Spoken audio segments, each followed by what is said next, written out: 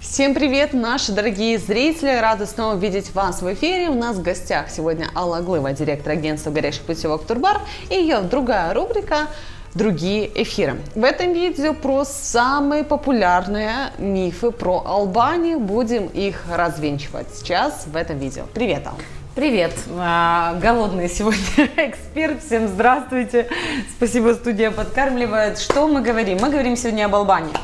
Э, Ты по... так аккуратненько не облокачивайся, По хорошо? мифах, да. скажи мне, пожалуйста, давай начнем с того, что ты думаешь об Албании. Ты же не была в Албании, правильно? Я не была в Албании, но так как я работаю на туристическом канале, который говорит про Албанию, который снимал огромное количество видеороликов, которые вы можете посмотреть на нашем YouTube-канале, я знаю, что там классно, что там безумно красивое море в регионе Ксамиль, что летим мы в Тирану, что там очень недорого, и это достаточно классный отдых. Ну вот, я так хотела, чтобы ты мне поназывала мифы, а я их развенчивала. Я Придется это Я у тебя перед эфиром спросила, какой самый главный миф в Албании? Ты мне самый, не ответила. Самый главный миф, я отвечу уже э, сейчас в эфире, это то, что когда произносишь э, клиентам слово «может в Албанию», они говорят, нет, там же Советский Союз. И тут вот сразу хочется говорить противовес, работать с возражением, потому что э, действительно у меня было такое же мнение, когда ты абсолютно права, летим мы в Тирану, самый ближайший курорт от Тирана это Дурес. И вот э, у меня там была одна ночь перед тем, как я переезжала в Ксамиль, и ощущение именно такое.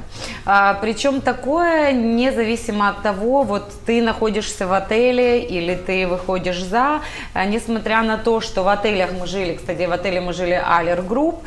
Отель сам по себе хороший, Aler Luxury четверка resort. А вот находится она не в самом Дурресе, а немножко рядом, но я сейчас про Советский Союз.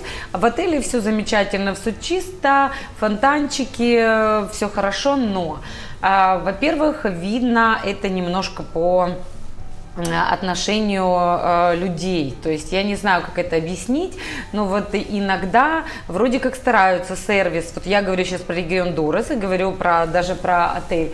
Э, они улыбаются, но все равно вот ощущение какого-то, ну вот ответили тебе и все. Вот нету, знаешь, как обычно гостеприимства, чтобы тебе там что-то другое предложили. Вот ты спросил, тебе ответили все. Есть нету, есть нету. Ну вот как-то так все происходит. Хотя улыбаются, все замечательно. Вышли на улицу э, прогуляться, надо же куда-то куда вечер, надо же что-то с этим делать. И знаешь, вот просто вдоль дороги ощущение следующее. То есть хочется зайти в какой-то магазин, их нет.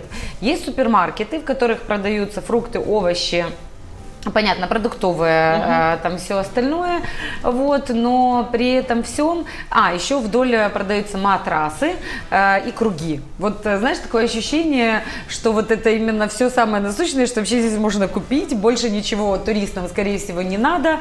Ну и вот как-то это первое, то есть вот я сразу вспомнила свое детство, когда я ездила там в Бердянск или в Крым, и вот примерно точно так же, когда мы гуляли по улице, это первое.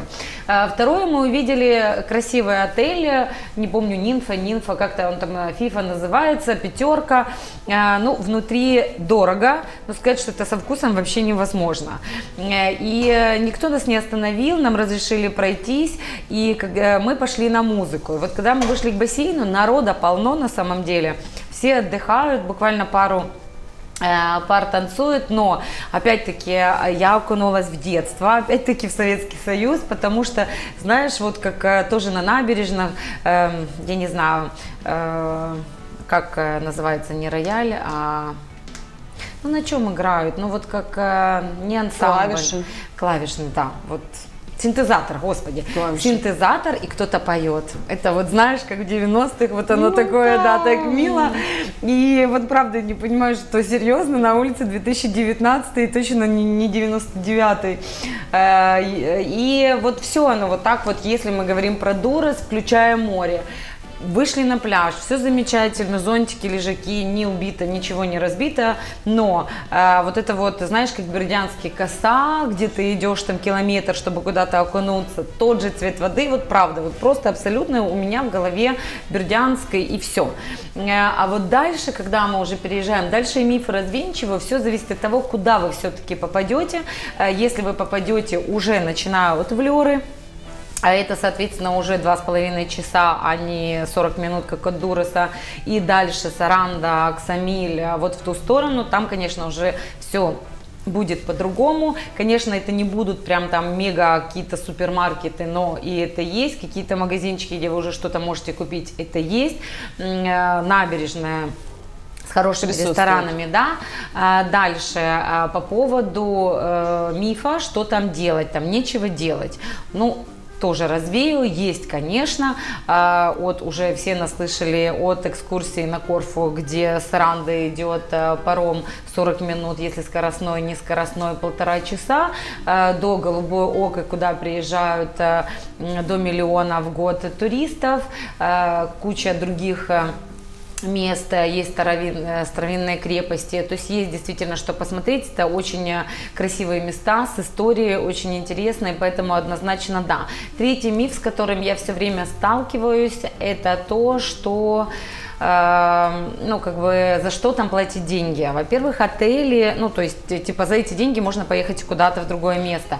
Если сравнивать отели, возможно. Хотя сейчас очень классные предложения есть, там, не знаю, буквально неделя, 650 а, евро за двоих, э, в том же Ксамиле, в том же Алербьянко, в котором мы жили, отличная четверка, 3 минуты до пляжа. Я, ну, можно, конечно, поехать за такую же стоимость, наверное, в 3 звезды в любой стране Европы, но не за те же деньги глобально, которые вы можете уже потратить там, потому что я бы изначально считала бюджет в принципе, который вы потратите на отпуск.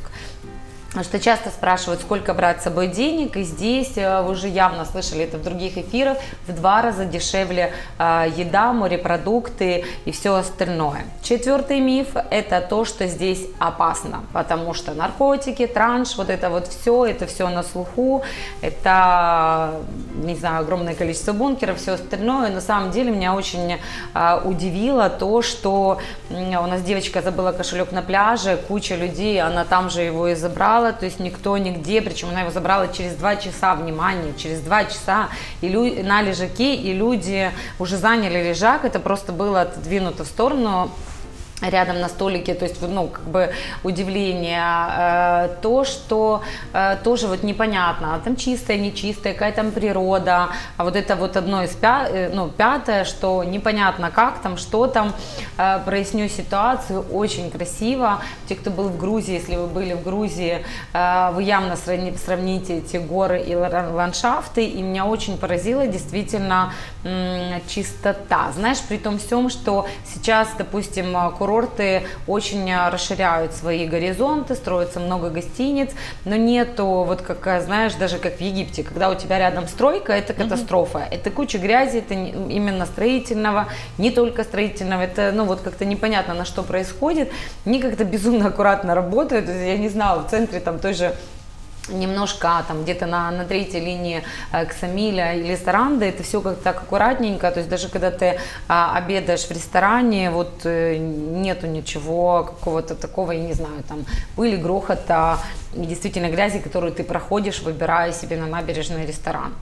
Так что, если вы думали и вы знали какой-то один из этих мифов, пишите комментарии под этим видео. Может, вы знаете что-то еще такого про Албанию, что мы можем в нашем прямом эфире развеять для того, Пишите чтобы... Пишите свои мифы, да.